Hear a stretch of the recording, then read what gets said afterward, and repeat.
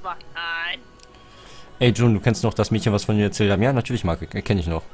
Seitdem bist du äh, Berater für Homosexuelle. Wie du es selbst gesagt hattest. Aber den ganzen Namen weiß ich nicht mehr. Dr. Marca Gastiris oder so.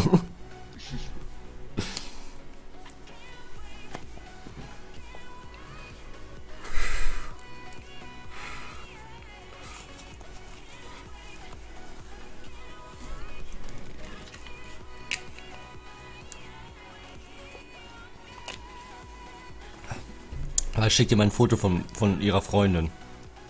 Ich habe Angst, Marker. Ich habe jetzt Angst, wenn du schon so anfängst. Da fuck, was? Also, Marker, Marker hat schon mal Probleme gehabt. Kann ich ja so erzählen. Mit jemandem. Und äh, seitdem ist er Berater für Homosexuelle.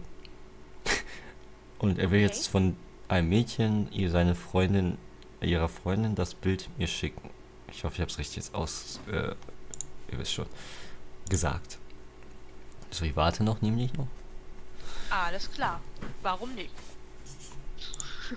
Warte mal. Jetzt musst du sagen, wer wer ist. Links ist sie und rechts ist, ist ihre Freundin oder andersrum, weil sie, sie, er sieht echt wie ein Typ aus. Er ist extrem wie ein Typ, also schon heftig. Ja, ja gut, aber so vielleicht, vielleicht kenne ich auch ein paar, die sich wie ein Typen anziehen. Ähm, ich war in der Grundschule ja schon echt exotisch mit meinen mit meinen beiden und was Biken und grasgrünen Jeans. Beige. Achso, so wird beige geschrieben? Mhm. Oh. Hab ich nach beige falsch geschrieben. Ich habe B E G E. Scheiße.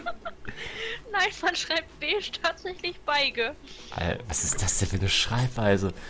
Und warum trägst du grasgrüne Jeans? Nordic. Feste Freundin. Heute sogar eigentlich in Mode. Ja, ich finde, äh, das ist auch die Ich hatte auch mal eine orangene Hose. Ja, bei Frauen ist es ja noch okay, sag ich mal so, aber bei Männern, die tragen ja heutzutage schon, die Jungs meistens, tragen ja schon solche Hosen, die enger sind als Frauenhosen. Also sie sind ja wirklich ganz dünn am Bein und im Schritt auch extrem dünn. Ich denke mir so, Alter, das tut doch voll weh.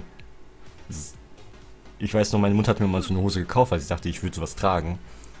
Und ich kam mit meinem Fuß einfach nicht durch. Das, das, das Bein war einfach viel zu eng, mein Fuß war zu groß. Das war so Mobbing.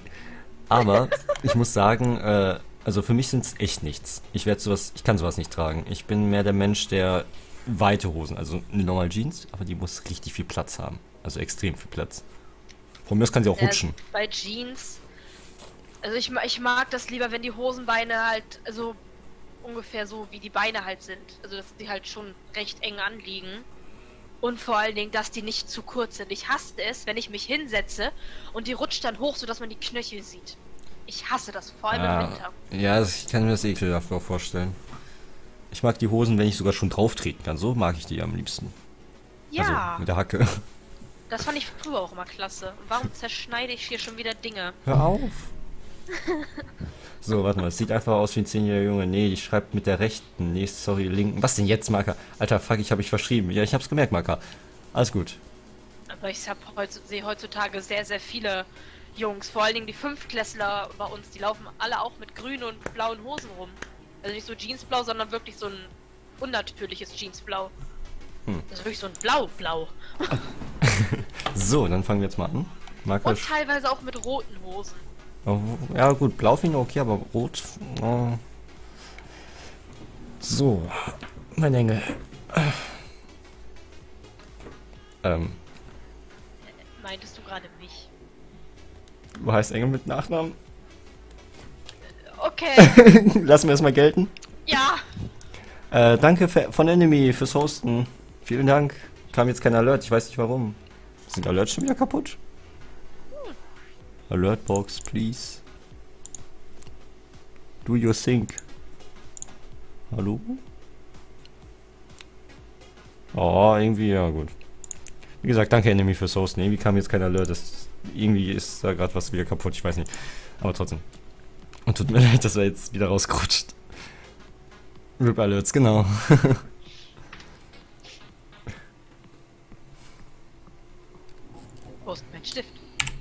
Stift? bestimmt zerschnitten. Nee, das hätte ich gewusst. Weil irgendwann kommt der Ich weiß Tag. doch, was ich mit meiner Schere zerschneide. Ernsthaft, wo ist der? Ach da, der liegt direkt vor mir. Ich bin blind. Und irgendwann hast du auf einmal deine Copics zerschnitten. Das wird niemals passieren.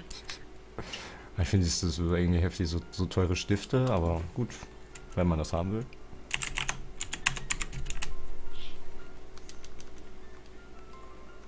Das hättest du nicht sagen dürfen. Was denn? Die Sache mit den Copics. Hä? Äh, Weißt du, gibst auch allen möglichen Geld für so viel Scheiß aus? Vor allem nicht gerade wenig. ja, nee, das war nicht, nein, das war jetzt nicht so gemeint. Ich kann mit den Stiften immerhin was anfangen. Ja, mein, ja, Fang damit auch was an. es war nicht so gemeint, Charlene. Es war so gemeint so, oh. Entschuldigung. Bei sowas musst du echt aufpassen, wenn du irgendwie mit Künstlern redest. Ja, es war, sagen wir so, es war wirklich nicht so gemeint mit, mit es Ja. ist so ein billiger Stift. Nein, ähm, ich meine Nee, so, billig, äh, im Gegenteil, du hast ja gesagt teurer. genau, deswegen. Ich weiß, ihr könnt damit mehr anfangen als ich. Ich verstehe davon wenig. Ähm, es ist einfach nur so heftig, dass solche Stifte so teuer sind.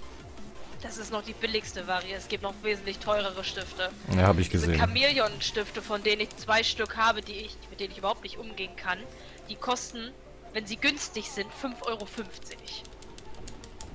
Wenn sie günstig sind. Ein einziger. Und weil der so einer hält auch wahrscheinlich aus lange, oder? Mm, Nein, nicht Okay. wirklich. Gut, Also dann. ich weiß es nicht. Meiner ist Gott sei Dank noch nicht leer. Ja, wäre ja. ja blöd, wenn die Dinger nicht so lange halten für den, für den hohen Preis. Nur weil es Öl. Oder war es Öl? Nee, diese Chamäleon-Stifte, die haben da so, sagen wir es mal so, da ist halt noch so eine zusätzliche dritte Stiftspitze mit drin, die halt die Farbe so rausziehst und dann kannst du halt so einen Farbverlauf mit einem Stift machen, halt von ganz hell zum dunkelsten Farbton, die diese Farbe halt zu bieten hat. Aber ich kann damit auch überhaupt nicht umgehen. So großflächige Sachen kannst du damit überhaupt nicht machen. Kannst Hm. du keinen gleichmäßigen Farbverlauf hinkriegen.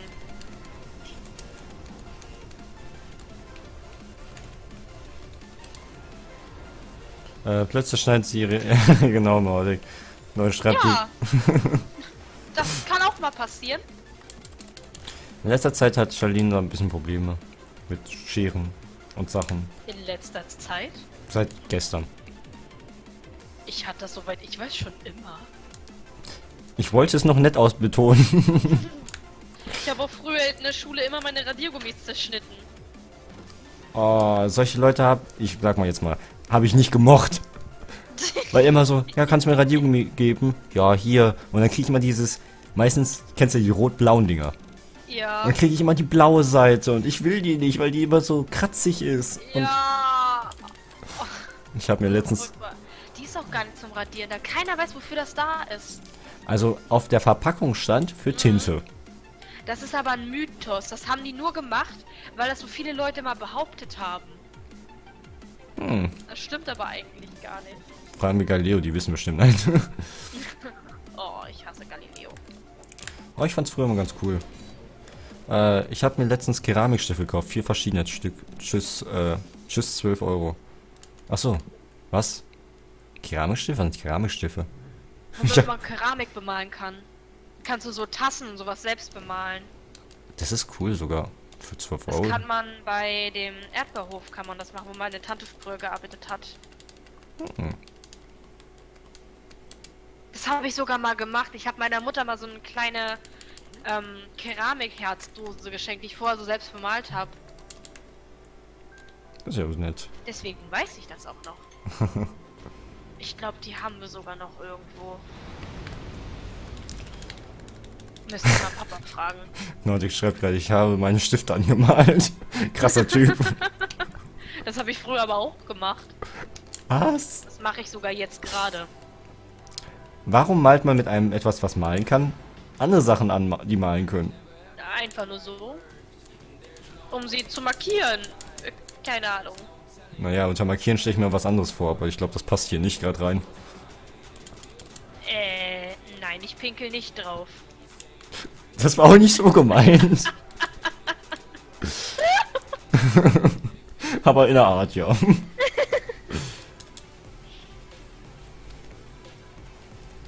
Also nach dem Motto angelegt meins. Ja, genau, so kenne ich das immer. Alles, was ich ablecke, ist meins. Meins, meins, meins. Geräuschefuchs. Marker, ich verliere immer meine Stifte. oh, das, das habe ich auch mal früher. Oder zum Beispiel, du hast einen abgegeben und hast ihn dann nie wieder bekommen. Und dann so, fünfte Klasse später, hier hast du einen Stift wieder. Hä? Du hast noch einen Stift von mir? Existiert noch? Ja.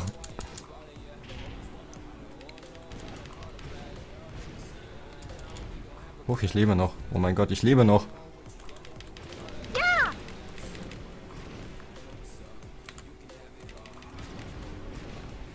Das ist aber jetzt echt knapp gerade, dass ich noch lebe.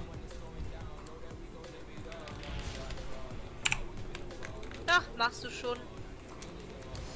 Danke. Sie haben mich bemerkt. Oh mein Gott, ja. Mir wurden immer die Stifte geklaut. Das ist hart. Ja, Also geklaut ist finde ich echt uncool.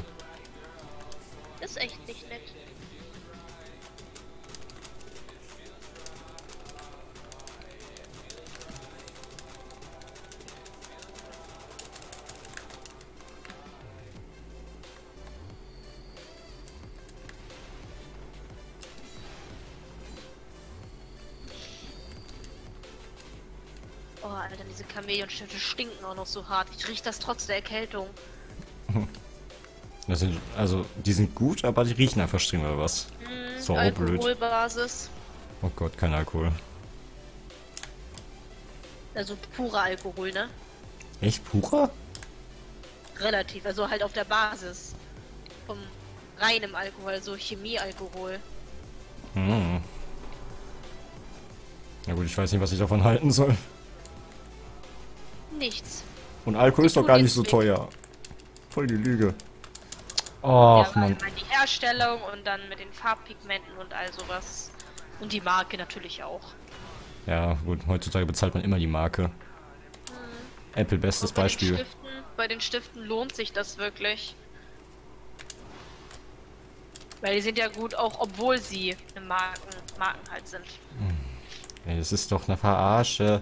Vorhin hat's doch funktioniert, komm schon.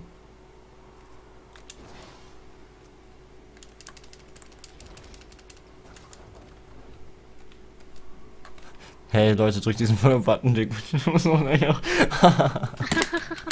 Auch voll lieb von dir, Enemy. Voll lieb. Dankeschön. Das ist echt mega lieb.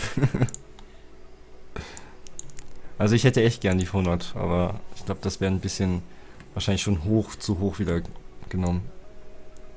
Ich will mich ja auch nicht überlegen hier. 23? 23 Filme nur noch? Ja, 77 hast du. Ich habe 77? Du hast 77. Seit wann habe ich 77? Steht da oben. Ja, das stimmt dann auch. Follower 77. Okay, okay. Wow. Bin ich mal. Ja gut, sagen wir so, für fünf Jahre ist das... Häusliche Gewalt! Danke, Geräuschefuchs, für ein Follow. Boah, hab ich mir schon wieder.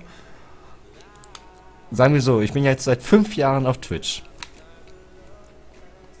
Und ja, was bin ich jetzt 78? ich sollte den Follow-Button lieber nicht mehr drücken, ja. Du hast den auch schon gedrückt, glaube ich, oder? Ich weiß nicht. Soll ich 23 Accounts erstellen? Nein, Marc. Wir wollen das auf ehrlich. Ja, wollte ich sagen. Wir wollen das auf ehrliche Art und Weise machen.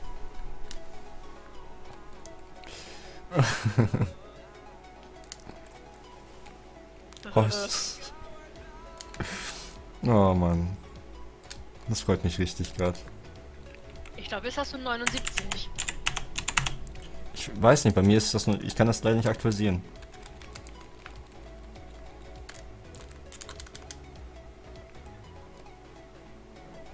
Häusliche 79. Gewalt! Dankeschön. Dankeschön, Charlene, für den Follow.